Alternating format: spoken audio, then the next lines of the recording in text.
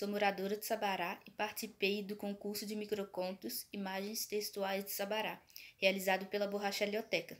Vim mostrar a vocês o texto que eu escrevi. Espero que vocês gostem tanto quanto eu.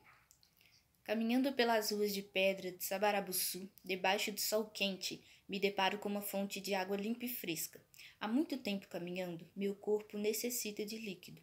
Sem sombra de dúvidas, ali será a fonte que renovará as minhas energias durante a caminhada. Daquele emaranhado de pedras jorrava uma quantidade alarmante de água, que molhava não só a minha boca, mas os meus cabelos também. E de repente surge um rapaz, que lançou sobre mim uma maldição. Diria ele: Quem dessa água bebe, um dia aqui voltará.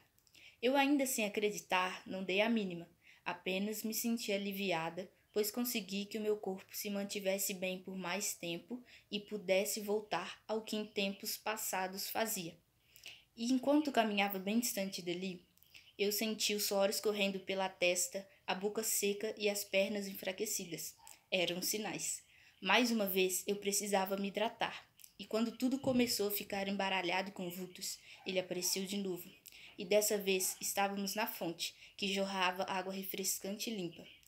E veio as recordações de quando ali no pretérito estive, na mesma situação.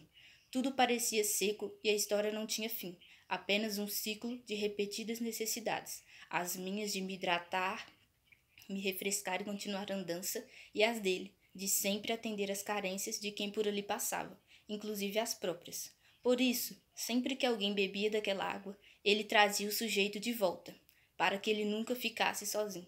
Bom, esse foi o meu texto, espero que vocês gostem e até a próxima.